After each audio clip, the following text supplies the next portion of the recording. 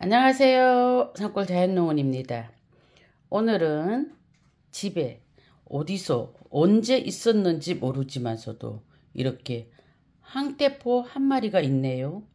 이 항대포를 넣고 우리 혈관 건강에 아주 좋은 미역국을 한번 끓여 보겠습니다. 미역국 많이 먹을수록 좋은 것이지요. 산모들에게도 좋고 혈관 건강, 바다 해초, 혈관 건강에 아주 좋은 미역. 예전에 생일이면 꼭 먹던 미역국인데 요즘은 생일이 되어도 잘 먹지 않죠.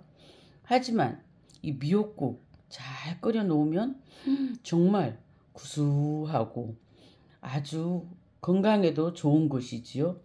미역을 이렇게 불려 두었습니다.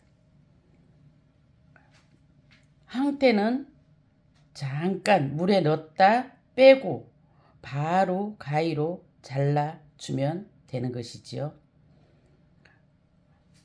황태랑 미역을 씻어 오겠습니다. 먼저 항태포 불린 것 이렇게 잘라준 것을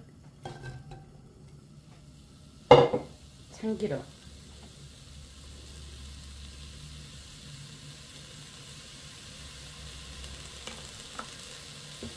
참기름 한 숟가락 넣어주고 달달 볶아주지요.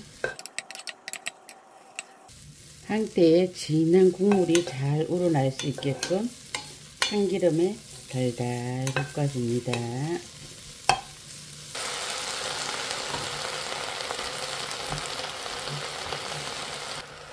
미역을 볶아줄 때는 이건 집간장 하나 둘 3개 정도 넣어주고. 마늘은 좀 넉넉히 두 스푼 정도.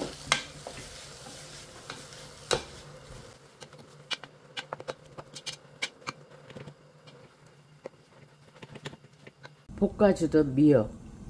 뚜껑 덮고 이렇게 김이 날 때까지 미역을 조금 익혀줍니다.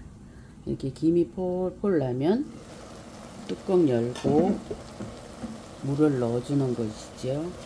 물 넣고.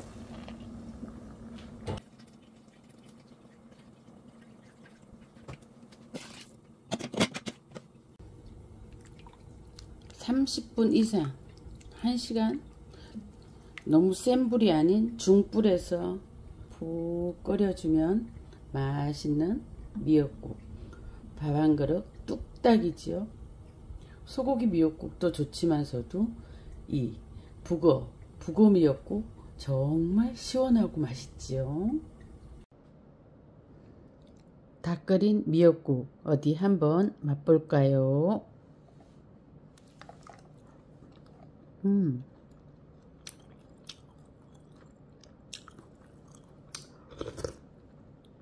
음, 맛있어요. 이렇게 미역국만 먹어도 음. 특히 다이어트 할 때 미역국 먹으면 좋죠.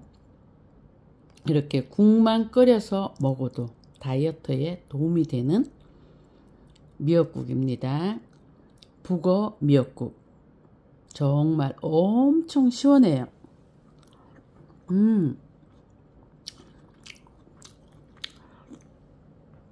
따뜻한 밥 말아 먹으면 더 맛있지요. 오늘은 이렇게 항태 미역국을 끓여 보았습니다. 언제나 건강하게 화이팅입니다.